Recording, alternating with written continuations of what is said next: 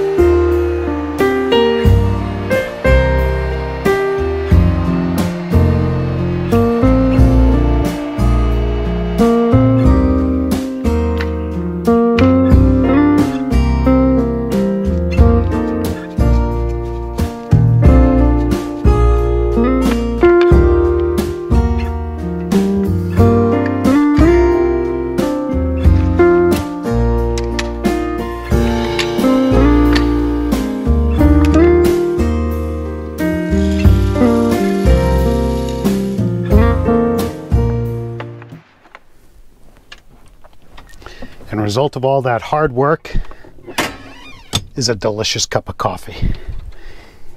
In the van, I do a pour over. It's the only way to go. And that pour over is delicious because I take those freshly roasted beans and I hand grind them for every cup. That is definitely the way to do it, and it's the way I love it.